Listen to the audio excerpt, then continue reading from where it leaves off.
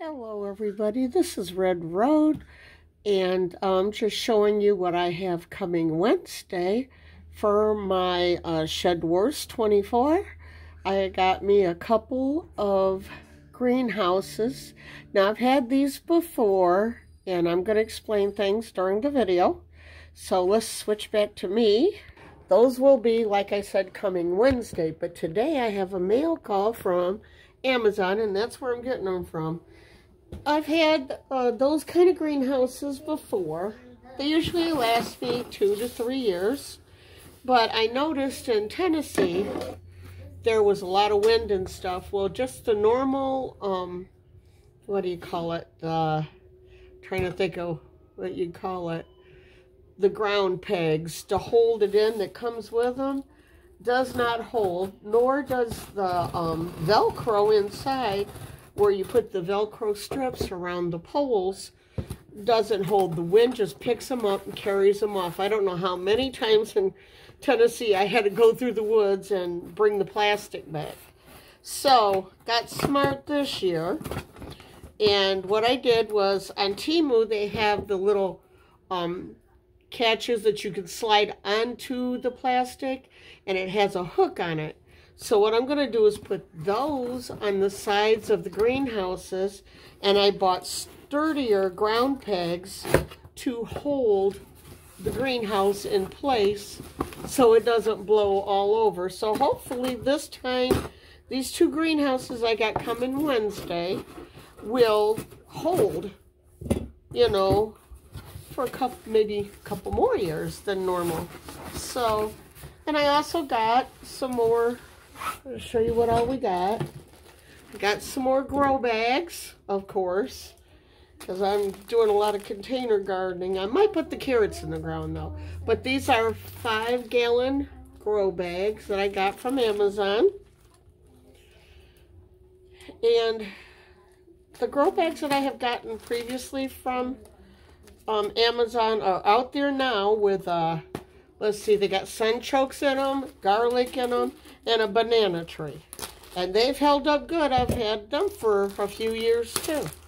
So I got me some more because what I want to do with these this year is since we don't have a lot of growing space or trellises, I have a tree that I'm going to put a little face on, be goofy, but it's a bird feeder too. Anyways, there's a great big, I mean a huge maple tree out there. And then there is some um, what do you call that fencing? I'm trying to think. The crisscrossy fence. Anyways, the fence out there.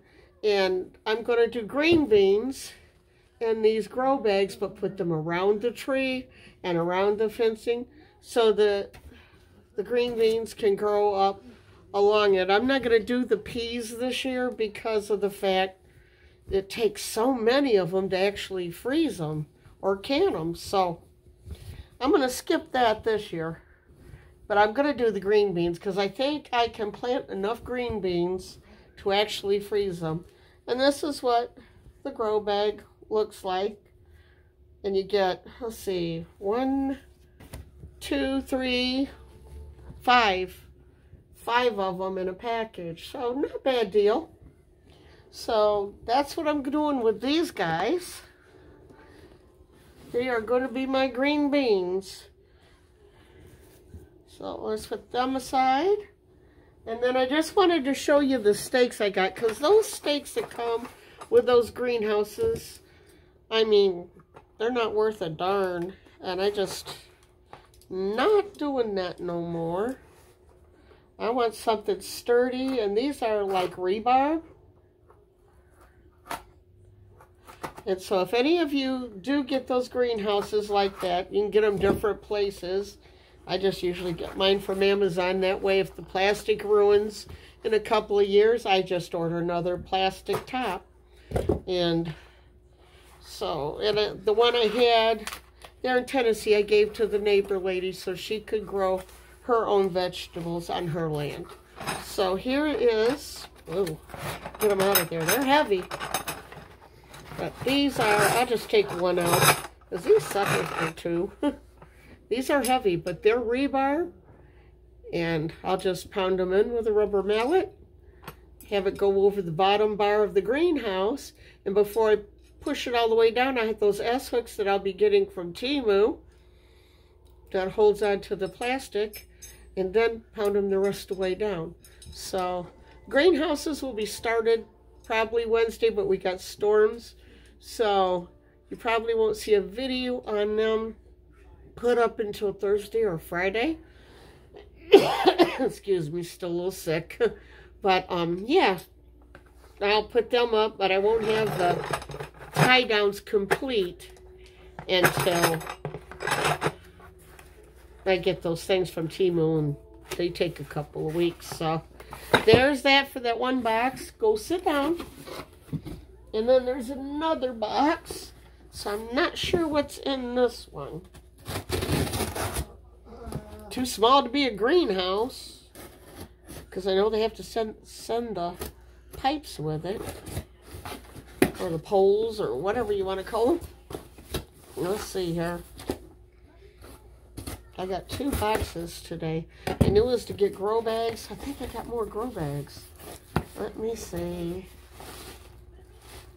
Uh, hmm. I'm not sure. I don't think this one's mine. This might be my kids'. So, I'm going to close that back up. I think I opened my kids' mail. That could be. Let's see. Um. Whoa. Uh-oh. Somebody else's mail. Okay.